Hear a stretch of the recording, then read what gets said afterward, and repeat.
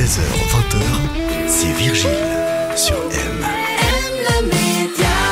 Bienvenue à tous, vous êtes sur M, on parle de nos animaux de compagnie comme chaque semaine dans les experts avec notre experte dans le monde animal. Elle est là depuis les débuts de cette rubrique, c'est Karine Métro, présidente de SOS Chien Polaire à Payerne. Bonjour Karine. Bonjour Virgile.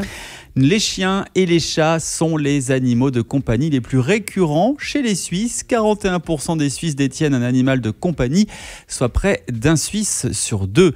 Quels sont donc les avantages d'avoir un chien, un chien qui est quand même l'animal de compagnie le plus prisé, euh, plutôt qu'un chat? Alors, bah, premièrement, le fait euh, d'avoir un, chien, ça va vous égayer euh, votre vie parce que c'est vraiment des animaux qui sont d'une grande loyauté et qui sont capables de donner un amour inconditionnel. Alors, vous me direz le chat aussi, mais le chat est quand même un peu plus réservé et c'est lui qui choisit souvent la période de câlin, tandis que le chien, lui, c'est vraiment à tout moment, il vous aime, à tout moment, vous pouvez lui faire des câlins, il est toujours joyeux, il est toujours content. C'est vraiment un pur bonheur d'avoir un animal, en tout cas d'avoir un chien. Ce n'est pas pour euh, rien que l'on dit que le chien est le meilleur ami de l'homme. Oui, tout à fait. C'est son meilleur ami et, c'est vrai que quand on a la chance d'en avoir un, eh ben, on sait à quel point euh, on est content de, pouvoir euh, vivre une belle vie avec eux. Est-ce que ça peut changer une vie de prendre un chien plutôt qu'un chat? Oui, parce que déjà, on va faire plein de choses avec lui, on va faire des activités, on va aller balader, on va trouver plein de, plein de choses euh, à faire ensemble. On verra aussi que les interactions avec, euh, avec euh, nos congénères, donc les humains, sont différentes. Quand on a un chien, souvent les gens s'arrêtent. Oh, il est joli votre chien, il vient d'où? Et c'est des gens qui, en général, ne vous adressent pas la parole. Mais du moment qu'on a un chien, ça crée le lien, ça, ça crée pas mal de choses qui sont très surprenantes.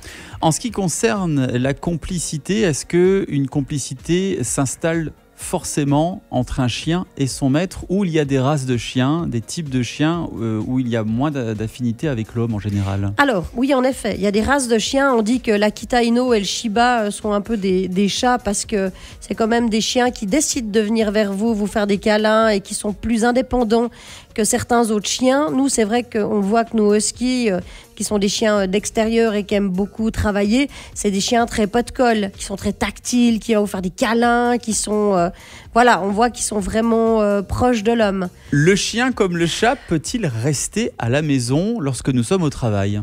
Alors, le chat, oui, bien sûr, il va pouvoir rester à la maison euh, pendant qu'on est loin. Il faut qu'il ait évidemment à boire, à manger, idéalement euh, hmm. qu'il ait euh, des arbres à chat, des endroits où il peut grimper, faire l'andouille, hmm. voilà, exactement, se dépenser.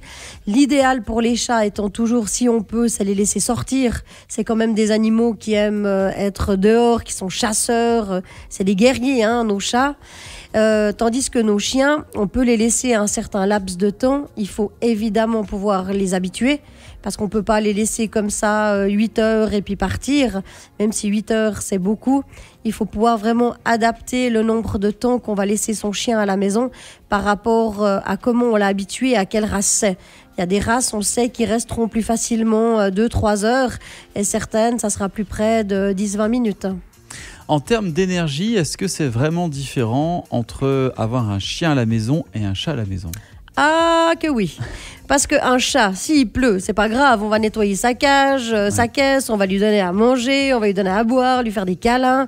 Tandis que le chien, s'il fait beau, on va promener, s'il fait mauvais aussi, s'il pleut, s'il grêle, toutes les races, toutes les races, y compris les petits chiens, c'est pas des chats.